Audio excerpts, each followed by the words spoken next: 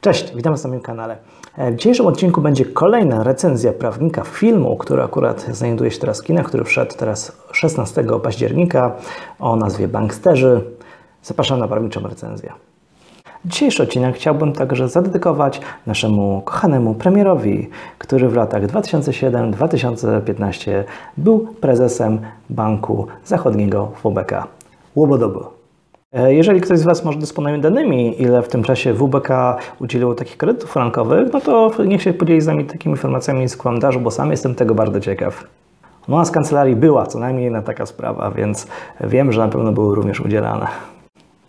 No muszę Wam powiedzieć, że ten film Banksterzy w reżyserii Marcina Ziembińskiego e, tak naprawdę jak szedłem do kina, to za bardzo nie wiedziałem czego się spodziewać. No wiedziałem mniej więcej, że chodziło o tą aferę frankową. Natomiast e, w skrócie ten film można określić jako półtora godzinną reklamę jednego z pośredników, który e, zajmuje się jakby naganianiem Frankowiczów. No i w zasadzie jest nawet wymieniony w czołówce tego filmu. E, I dlaczego mówię pośrednik? E, no, żadna kancelaria e, radcowska czy adwokacka nie może działać w formie spółki ZO czy w formie spółki akcyjnej. No tutaj to wprost wynika z zasady wykonywania zawodu. Więc jeżeli macie do czynienia powiedzmy z jakąś taką kancelarią odszkodowawczą, czy z jakimś powiedzmy nazwijmy to taką kancelarią prawniczą, czy lawyers i tak dalej, e, gdzie ma formę spółki akcyjnej, czyli SA bądź spółka ZO, to znaczy, że macie do czynienia z pośrednikiem i będziecie płacili za sprawę dwa razy. Stawkę pośrednika i stawkę dla tego radcy, czy dla tego adwokata, który faktycznie będzie Wam prowadził tą sprawę. A wiecie, co też ostatnio nad klienci przynieśli mi sobie do e, ocenienia? O, tutaj mam coś takiego podobnego, dosyć duża. Nie będę oczywiście Wam jej treści pokazywał, e, ale w zasadzie umowa jest o wiele dłuższa od e, często tych umów kredytów frankowych, więc e, no cóż, troszkę dla mnie to wygląda na takie strzyżenie jeleni, czy strzyżenie owiec dwukrotne. I też patrzyłem na stawki, no to cóż... Generalnie kosmos, więc nawet sama taka analiza umowy kredytowej, czy po prostu rozpoznanie się w kancelariach radcowskich czy adwokackich, e, to jak widzicie takie umowy e, radca czy adwokat, no to jest często w stanie od razu stwierdzić, czy to ma klauzulę niedozwolonej, nie, więc to jest zazwyczaj już nad wprowadzona taka analiza jest bezpłatnie robiona. Tutaj sobie Państwo życzą prawie 4000, więc no cóż, ładnie, ładnie. Co do stawek e, też jeszcze Wam powiem. No generalnie sprawdzamy jaka jest wysokość kredytu, na ile był zawarty kredyt, powiedzmy to jest między innymi suma takiej nieważności, czyli powiedzmy, jeżeli było zaciągnięte na 100 tysięcy złotych, możemy mniej więcej tyle przyjąć, że tyle będzie tego warta. Sprawdzacie, jaka jest stawka minimalna w rozporządzeniu za czynności radców prawnych czy za czynności adwokackie i w związku z tymi widełkami, bo tam macie określone w właśnie widełkach, e, to to będzie też e, taka stawka będzie taka płatna. No i taka stawka w przypadku, powiedzmy, jak powiedziałem, takich spraw około 100 tysięcy, to mamy rozporządzenie od 50 do 200 tysięcy. To jest minimalnie 7200. Generalnie na rynku standardem jest w takich sprawach, że e, właśnie kancelarie radcowskie i adwokackie, które faktycznie się tym zajmują, e, to biorą właśnie taki ryczałt e, w wysokości mniej więcej takiej stawki, w granicach tej stawki minimalnej. Mm, no, musi być wyższa, w końcu jest stawka minimalna, więc przypadku takich spraw 100 tysięcy to najczęściej to bym się spotkał z taką ofertą za 8 tysięcy powiedzmy zaliczki, no i zazwyczaj jest też również taka mm, success fee, czyli ten procent, procent od wyeksekwowanej kwoty, no ale to jest z reguły 10-15%. Jeżeli jest więcej, no to prawdopodobnie chcą Was ostrzyc do łysego. Więc się powinno zapalić tutaj taka lampka ostrzegawcza, czy to naprawdę generalnie to będzie tyle warte. E, no tym bardziej, że te sprawy są już dużo łatwiejsze niż to było rok czy jeszcze dwa lata temu, zwłaszcza po wyroku Europejskiego Trybunału Sprawiedliwości w sprawie państwa Dudziak. A co do wysokości przysługujących Wam roszczeń, to sobie możecie to sami oszacować, bo nawet jest taka strona internetowa, to w ogóle mm, ten temat bardzo rozpromował mecenas Czabiński, który prowadził stronę internetową pomocfrankowiczom.pl i tam między innymi na tej stronie macie taki bezpłatny kalkulator do ściągnięcia w Excelku, więc sobie sami możecie to porównać, ile to jest warte bez konieczności płacenia 4000 zł. I też taka anegdotka w przypadku właśnie większości takich, nazwijmy to kancelarii w formie spółki akcyjnej czy ZO, e, to prezes UOKiK-u niedawno wszczął postępowanie w sprawie stosowania nieuczciwych praktyk rynkowych, więc E, no cóż, jak już chcecie generalnie taką sprawę komuś lecić, w sensie, e, to szukajcie kancelarii radcowskiej albo adwokackiej, no i też się rozpoznajcie, czy po prostu takie rzeczy no, wykonała przede wszystkim. Ja z takimi sprawami też miałem do czynienia, więc jeżeli macie jakiekolwiek pytania w komentarzu, to możecie je tam zadawać. Postaram się nie odpowiedzieć. Zresztą polecam tutaj wcześniejsze materiały na temat właśnie tych spraw frankowych i tak dalej. Dobrze, więc już omówiliśmy kwestie reklamowe tego filmu, a teraz dalszy ciąg tej recenzji naszej prawniczej, co do tematów, które są w tym filmie omawiane. Scenariusz tego filmu, bo to mnie najbardziej będzie interesowało oczywiście, poza rewelacyjną grą aktorską znowu pana Antoniego Królikowskiego, no normalnie się staję jego fanem, bo coraz e, mi się on zaczyna bardziej podobać w tych filmach. E, no i oczywiście Tomasza Karolaka, któremu służy właśnie branie takich ról, nazwijmy to takich, no badassów, e, czy nawet skurwieli, jak to się mówi czasem. No, w porównaniu do tego wcześniej, że co roku byłem katowany jego rolą Świętego Mikołaja w listach do M, które oglądałem wbrew swojej woli. Więc Cóż, pana Karolaka można tutaj jak najbardziej e, pochwalić za tę przemianę, za to, że podjął się takiej roli, bardzo mu fajnie to wyszło. Ok, wracajmy do fabuły. E, no, fabuła się skupia tak naprawdę na głównych e, grzeszkach polskiego sektora finansowego, polskiego rynku finansowego. No i oczywiście, o ile tutaj scenarzyści nam dali tego taką bardziej gangsterską otoczkę, ze wszystkimi powiedzmy takimi motywami znanymi z filmów gangsterskich, chociaż z lat 20. i tak dalej, to mm, faktycznie niektóre rzeczy w zasadzie, te, które były omawiane, pomijając takie wątki fantastyczne czy gangsterskie, faktycznie miało miejsce. Mówię tutaj właśnie chociażby o tych tytułowych kredytach frankowych, to do tej pory właśnie sprawy są w sądach, bardzo dużo y, jest w tej chwili spraw e, wygrywanych, w zasadzie większość, większość jest wygrywanych w tej chwili przez kredytobiorców, przez frankowiczów, mimo stosowania przez banki takiego czarnego PR-u. Na temat kredytów frankowych nie będę się bardzo rozwijał, tym bardziej, że tutaj na kanale są akurat materiały na ten temat. Innymi takimi grzeszkami rynku finansowego, które były właśnie tutaj e, poruszone w tym filmie, no to byłoby chociaż opcje, e, które zawierali przedsiębiorcy, opcje walutowe. No i w przeciwieństwie do mm, konsumentów, do normalnych kredytobiorców, większych kredytobiorców, którzy również e, korzystali z tej ochrony prawnej, jaką im gwarantuje chociażby kodeks cywilny w postaci tego, że zapisy umowne, które nie są indywidualnie umówione z konsumentem e, i w sposób rażący, sprzeczny dobrymi obyczajami, naruszają prawa konsumenta, to są dla konsumenta niewiążące i w zasadzie to jest klucz wszystkich takich spraw, chociażby frankowych czy też z bankami. No bo tak naprawdę ten film e, pokazuje te wszystkie nieuczciwe praktyki rynkowe, które e, na przestrzeni tych ostatnich wielu lat się w Polsce niestety wykształciły, bo tak naprawdę bank to nie jest żadna instytucja zaufania publicznego, to jest e, zwykły przedsiębiorca, który chce się nachapać kasą. A przyznawanie mu jakiejś takiej uprzywilejowanej pozycji w, w Polsce, chociażby wcześniej były takie zwane słynne bankowe tytuły egzekucyjne, to w ogóle jakiś kosmos, że bank zmienia się w sąd i sam sobie wydaje wyrok własny własnej sprawie, to w ogóle e, wiecie, była taka afera o te lub czasopisma kiedyś, tam było przychodzi Rywin do Michnika, ale tutaj dużo większa afera właśnie powinna być o to wprowadzenie tego BT, bankowego egzekucyjnego, no bo e, no przepraszam, ale nawet no, nie chcę używać zbyt mocnych słów, ale to, to był dopiero moim zdaniem przekręt. E, inni dopiero jak się zajął e, Trybunał Konstytucyjny tą sprawą, oczywiście ten Trybunał Konstytucyjny, kiedy jeszcze był sądem, teraz już z tym troszkę ciężko, e, no to dopiero akurat wskazał Trybunał, że no ustawodawca no chyba się dosyć mocno uderzył w głowę, wprowadzając do KPC takie przepisy na temat bankowego tytułu egzekucyjnego, więc to na szczęście już zostało uchylone.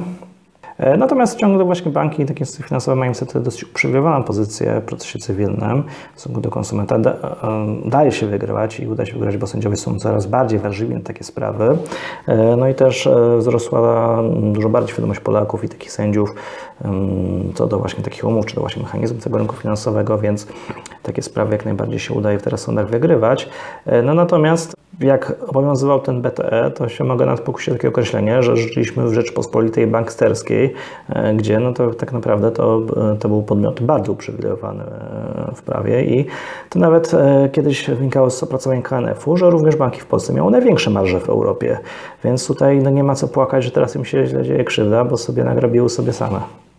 Oprócz tych kredytów frankowych, o których e, wspominałem, czy właśnie e, tego bankowego tytułu egzekucyjnego BTE, e, inną taką uczciwą praktyką było chociażby to ubezpieczenie niskiego wkładu, gdzie tak naprawdę do końca nikomu się tak naprawdę nie dało ustalić, za co ten biedny kredytobiorca płacił.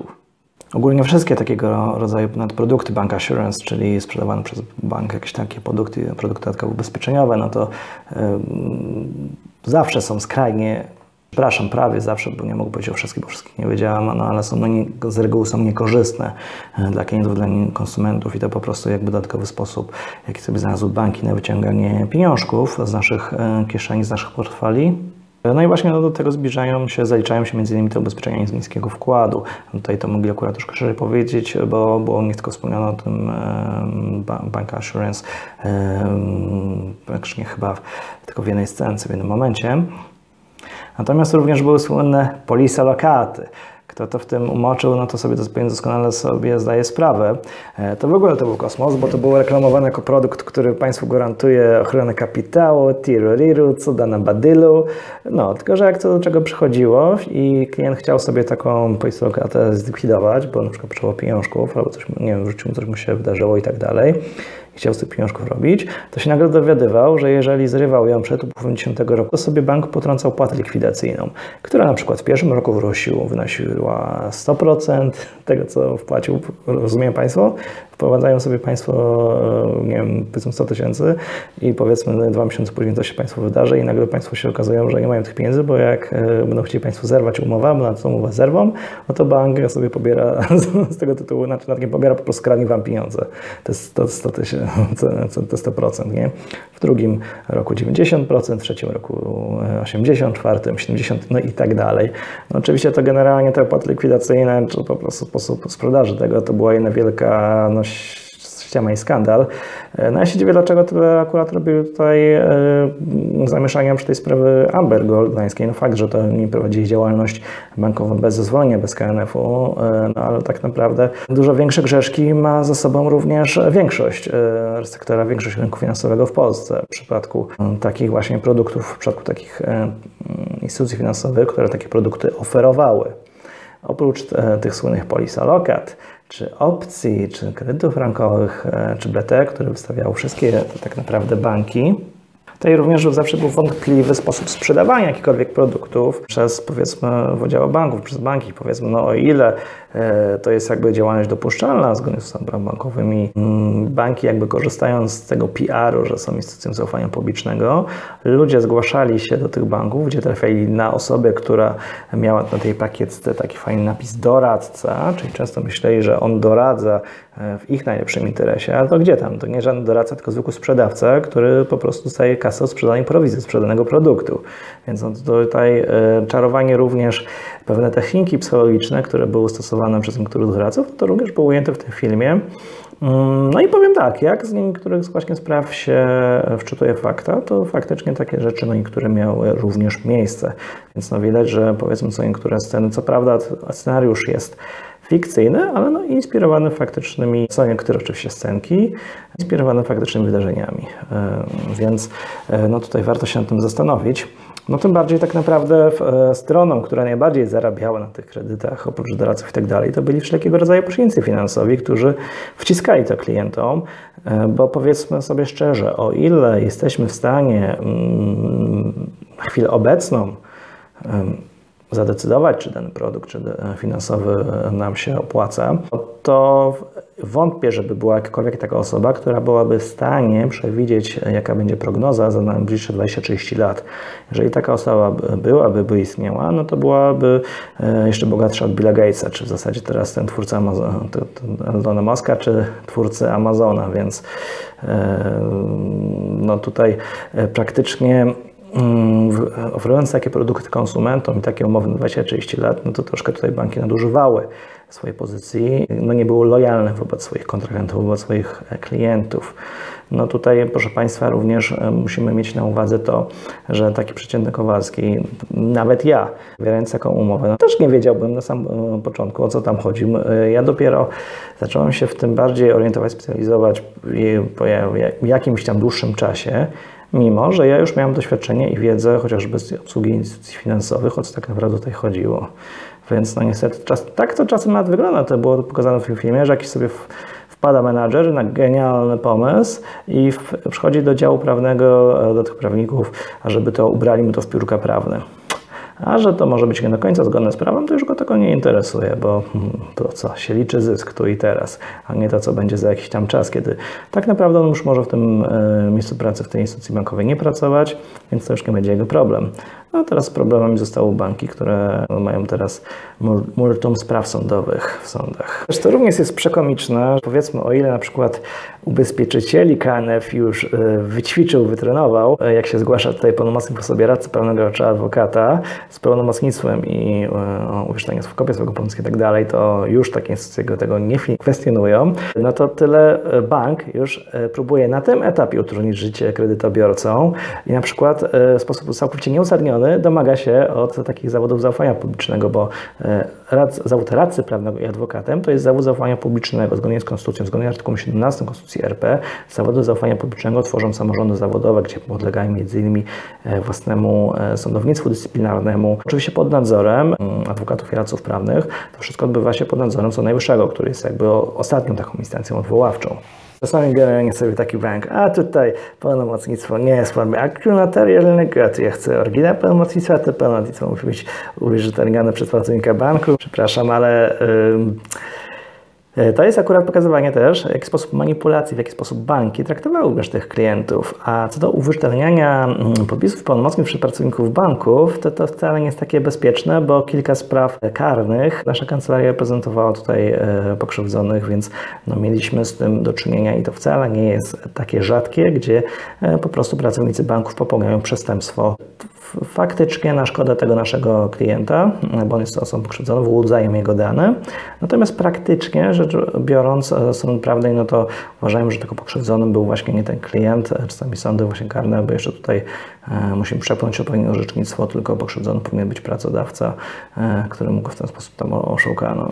Więc no nie wiem, ja tej konstrukcji bardzo nie rozumiem, natomiast takie um, zawieranie powiedzmy mów czy oszczędzanie podpisów, czy chociażby chodzenie na groby, które e, było pokazywane e, w filmie, e, no to faktycznie sobie wyobrażam, że również to mogło być miejsce, bo wcale bym się nie zdziwił, jeżeli byłyby te dane wykorzystywane właśnie do zakładania fikcyjnych kont, co niektórych miejscach, żeby właśnie chociażby w ten sposób pracownicy banków sobie mogli powołać pieniążki. Oczywiście nie mówię tutaj o wszystkich i tak dalej, no natomiast z takimi patologiami faktycznie od strony tutaj w praktyce mamy do czynienia często. No i słuchajcie, tak wracając też do meritum, bo to miała być w zasadzie recenzja mm, prawnicza, recenzja filmowa, no, natomiast wyszło mi pogadanka, no ale no, ciężko mi e, zrobić recenzję filmu, który jest w zasadzie reklamą. Mm, no i Powiem tak, no. Ostatnio widziałem lepszy film do oglądania, więc jeżeli kogoś ten temat nie kręci, nie chciał sobie zobaczyć, więc no ja tego filmu akurat nie polecam do oglądania. Może dla mnie to byłoby po prostu ciekawe pokazanie niektórych tam schematów, no natomiast większość z Państwa może tam nudzić. E, nadanie temu takiej bardziej kryminalnej czy takiej gangsterskiej otoczki e, z pogranicza powiedzmy świata finansów czy tam służb specjalnych, no to akurat e, to nie pomaga e, w tym, żeby ten film był bardziej atrakcyjny, czy bardziej e, dla widza ciekawy. W zasadzie no tyle na ten temat. No miała być recenzja, zrobiła się pogadanka na e, tematy funkcjonowania rynku finansowego w Polsce i tematów prawnych z tym związanych. Pozdrawiam.